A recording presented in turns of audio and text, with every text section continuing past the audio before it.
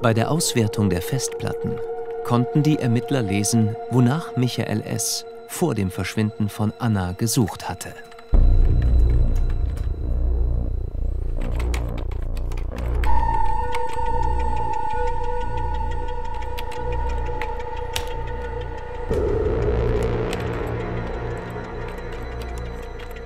Nach ihrem Tod googelte er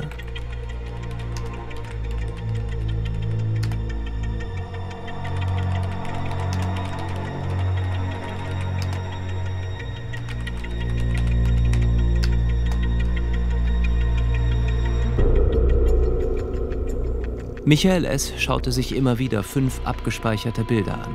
Darunter ein Foto von der von ihm erstochenen Christine.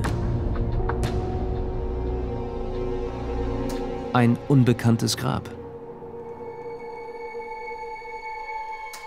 Ein unklares Foto.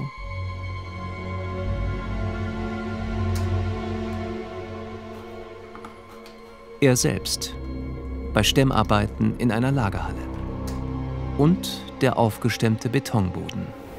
Der Angeklagte hat sich bislang nicht eingelassen, er hat geschwiegen. Es würde ihm gut zu Gesicht stehen, wenn er sich äußern würde, was mit dem Opfer geschehen ist. Das ist die letzte Chance, die wahrscheinlich die Familie noch hat, um zu erfahren, was ist mit Anna geschehen, wo ist